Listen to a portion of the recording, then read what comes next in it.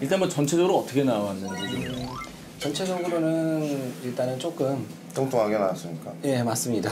하지만 그걸로 인해서 발생되는 문제들이 의학적으로 조금 보여드릴 게 있어가지고 조금 화면을 해서 조금 보여드릴게요. 예, 예. 자, 약주를 좀 많이 하시나요? 약주를 좀 많이 하시나요? 예. 어, 어느 정도 하세요?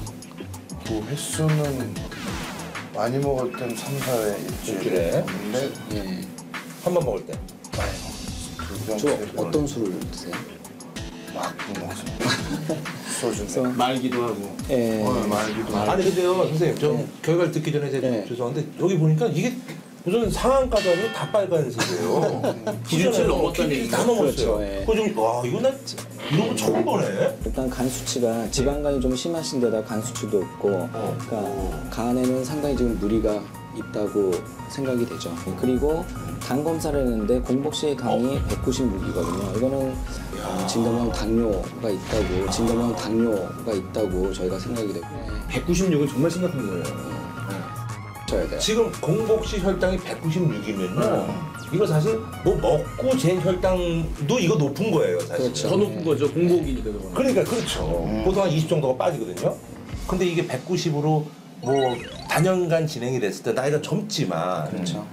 그럼 어떻게 되는 거예요 만약에 진짜로 장기적으로 이게 호전이 되지 않고 당 자체가 오래돼서 합병증이 생기면 혈관 합병증이 많이 생깁니다. 음. 다리 쪽에 작은 혈관들이 막히면 피가 안 가니까 썩게 되고 음. 그럼 나중에 자르셔야 되는 거고 눈 쪽으로 가는 쪽에 혈관이 조그만 것들이 막히기 시작하면은 망막이 손상을 입어서 실명을 될 수가 있는 거고 심장 쪽에 가는 관상동맥이라는 그 혈관이 있는데 거기가 좁아지면은. 어느 날 갑자기 심근경색이 올 수가 있는 거예요. 뇌혈관도 마찬가지. 그러니까 그나마 아직 젊으니까 그러니까요. 혈관이 젊으니까 그나마 버티고 있는 거죠. 그렇죠 그렇죠. 근데 이것들이 다 김주현 씨 체형하고 연관성이 있는 부분들이라서 그 부분에 대해서 조금 더 설명을 드릴게요. 네네. 설명해 네, 주세요. 네. 예.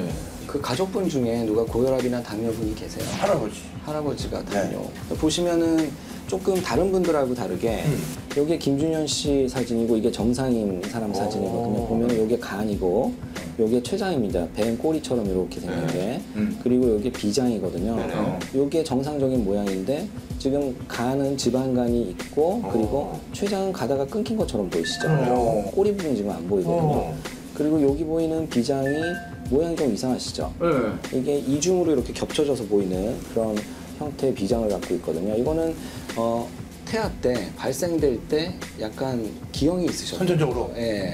문제되는 거는 이런 기형을 갖고 계시는 분들이 당뇨의 확률이 높다는 거죠. 아, 야, 자, 그거 저는 몰랐죠. 전혀 몰랐죠.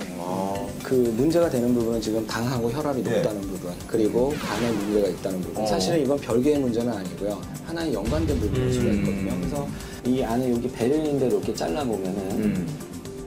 이런 영상을 얻을 수가 있거든요. 요거는 분홍색 부분이 내장 지방이고 주변이 피하 지방인데 아우. 이 내장 지방이 굉장히 많거든요. 요거는 수치를 조금 변화를 시키면 151이라는 수치가 나오거든요. 네. 내장 지방이. 보통 젊은 여성분들 같은 경우에는 7, 7이요? 네, 7 네, 이렇게 나오거든요. 그럼 약간 약간 좀 배가 좀 나왔다 싶은. 저 정도가. 예, 이 정도는 어, 어느 그러면 한 30, 40. 이 3, 정도 40. 나와요. 이. 정도 아니 정도 봐봐 다섯 배, 내 다섯 배하고 배. 이거 비교해봐봐.